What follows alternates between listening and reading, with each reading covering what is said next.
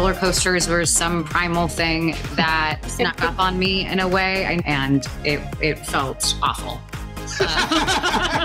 There's no better way to kind of pull you out of something and ground you in the present moment than your children because they, they need you to be present. And they don't care. they don't, they don't care. Some jobs, some roles are just a lot of fun to do, and this was one of them. Elizabeth and Patrick, thank you so much for hanging out with me today. I'm very excited to talk about love and death. I have done all a wife is supposed to do. I'm very attracted to you. Oh. Would you be interested in having an affair?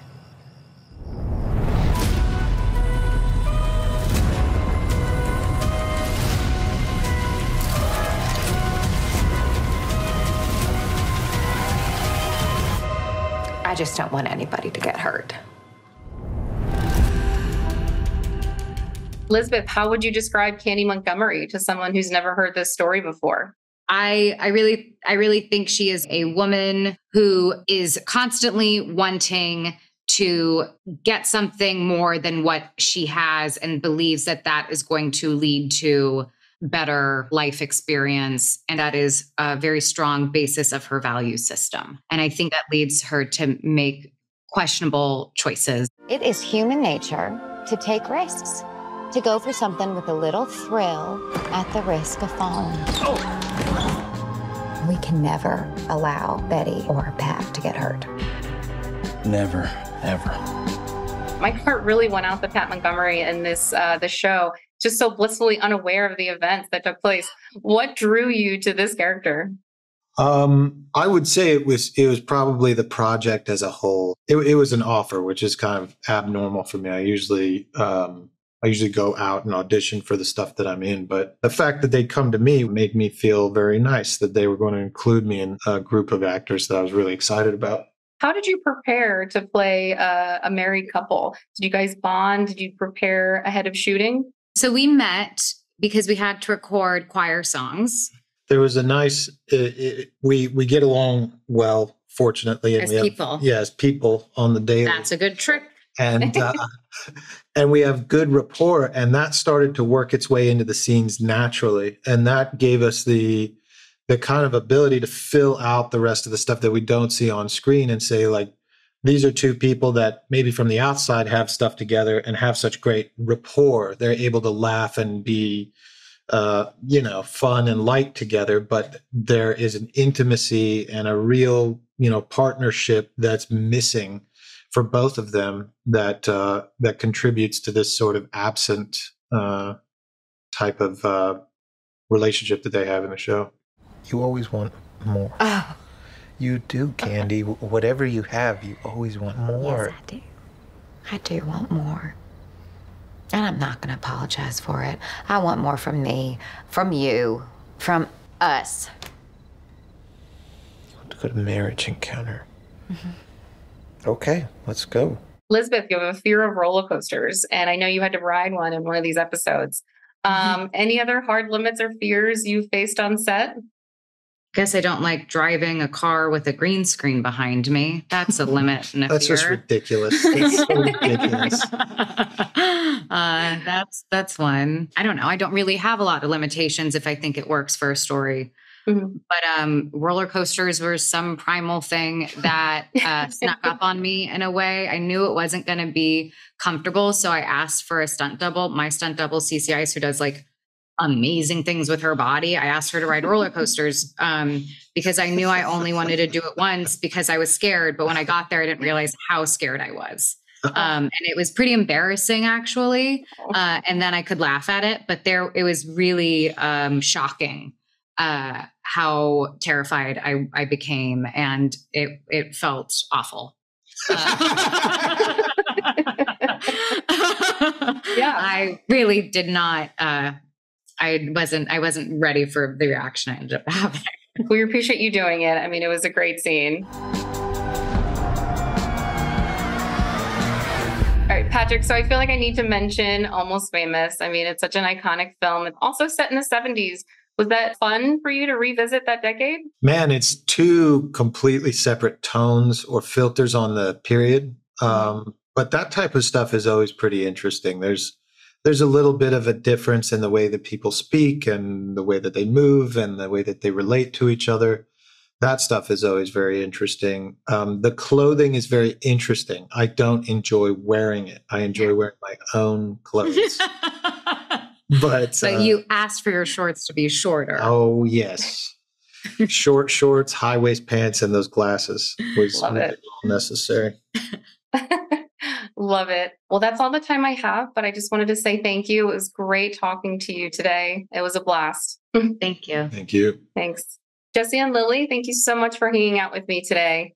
Thank you for having us. Yeah. Of course. What was it like to portray real life characters in the show and what were the influences you used? reading the scripts and seeing David's take on the story. It was just really exciting finding some humor in the circumstances, but not making fun of these people. And just felt like there was a lot of a lot of room and a lot to uncover, which is always exciting. Candy, I heard about uh, you and Sherry Cleckler are talking about a uh, rediscovering yourself. Did I hear that correctly? Yes, you did. And what does that entail?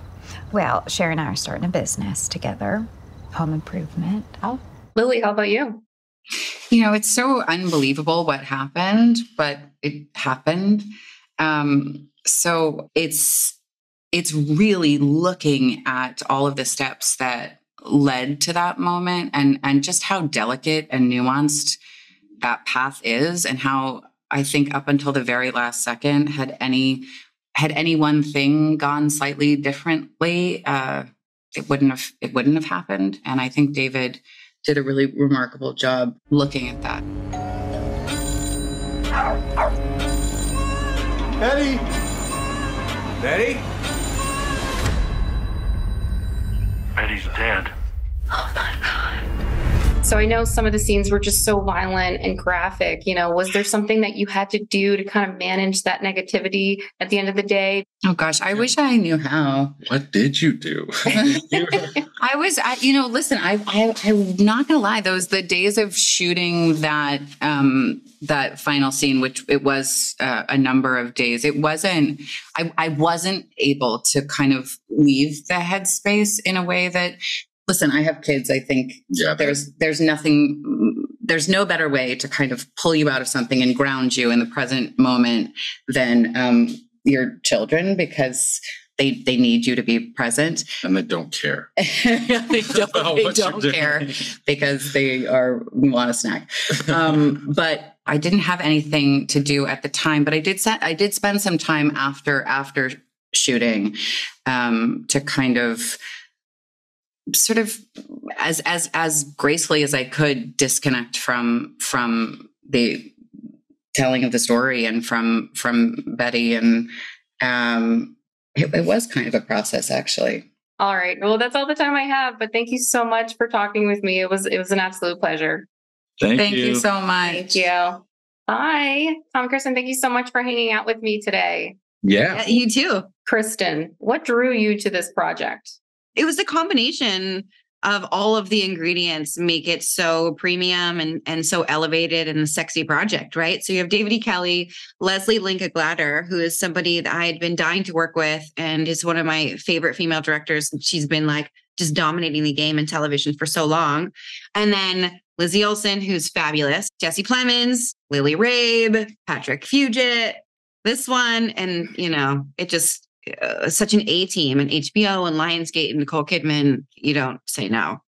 Yeah, I mean, for me, it's always the same. It just starts with the script, and these scripts were absolutely incredible. And you know, I guess no surprise because they're written by David, and then you know, work with HBO, which is always uh, a treat, and you always feel like uh, you're going to be doing something good. So, yeah, like Krysten said, it pretty much had everything you could hope for in a in a show, and then it turned out really well too. Got to see it the other day, so that doesn't always happen. Right. You never know. And I know. all- nothing ever turns out like great. It's not every day that that happens. Like, There's always going to be some disappointment. yeah. Yeah. Not, not here. I was I was proud of everyone. Me too. I love the show. Did the police read you your rights? No. I'm gonna pay a little visit to the police on process. Meantime, I want you to call all the women at church. Everyone who saw you at Bible school last Friday, ask them if they remember what you were wearing. What? Why? For you to have done what they're suggesting, you'd have had blood all over you. I want to establish a record that you look normal, and you'd be surprised how fast memories can fade. So do this today. Dawn. And no communication whatsoever going forward with Allan Gore. How did you prepare for the role? I mean, I saw shades of Vinny Gambini, uh, you know, with all the tension between Totally. the right, Totally. the, the judge. Um, I mean, was there any influence there? You're saying Vinny Gambini for my cousin Vinny? Yes. Yeah, I mean, that's great. I wish, I wish I thought to steal a bit more from Joe Pesci. The script is amazing, and it's like the more you learn about the, or the more I learned about Don Crowder, the actual human being, the more exciting I became to play him. I love the guy. I love sort of what he stood for, and and the man he seemed to be, and the way the people knew him best spoke about him. It was just fun, you know. Like some some jobs, some roles are just a lot of fun to do, and this was one of them. I mean, I loved it. And like I said, I know that wasn't your intention, but I had total my cousin Vinny vibes. So Oh my great. god. Yeah. The two Utes. Utes. Do you mean youths? Right. As I butcher the scene. So, Krysten, quick question for you. I mean, I'm a huge Jessica Jones fan, one of my favorite Marvel shows. Um, I'm sure you're tired of hearing of this, but No, I'm um, not. Oh, good, good. Definitely not. Thank you.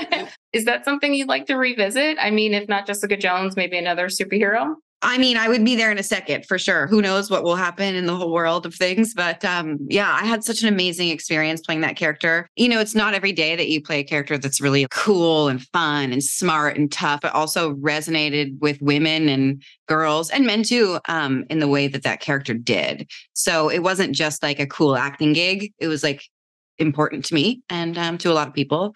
So um, yeah, I'm so proud to have played such a such an iconic, fabulous character. That's amazing. I'm glad to hear it. Um, I think that's all my time, but thank you so much. It was great talking to you both. Thank you. Thank you so much. Thank you. Thanks. Man, they get to go to their jobs. We just stay home and God, that's supposed to be enough. You always want more. Oh, You do, Candy. Whatever you have, you always want more. yes, I do. And I'm not gonna apologize for it. It is human nature to take risks, to go for something with a little thrill at the risk of falling. Oh! are You okay? I'm fine. Are you sure? Would you be interested in having an affair? We can never allow Betty or Pat to get hurt. Never, ever.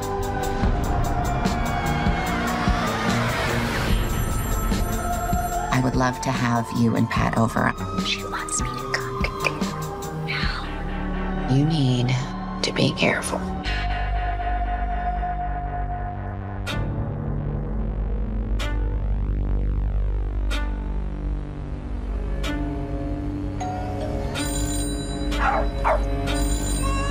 Betty! Betty?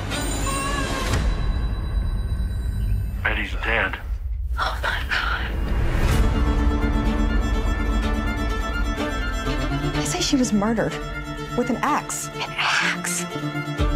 More than likely, Betty Gore was murdered by someone she knew. Did you kill your wife? No. I did have an affair with Candy Montgomery. Are You all right? Yeah, then I'd be all right. You just chopped and chopped and chopped. I didn't do it. I think he did. You're wrong.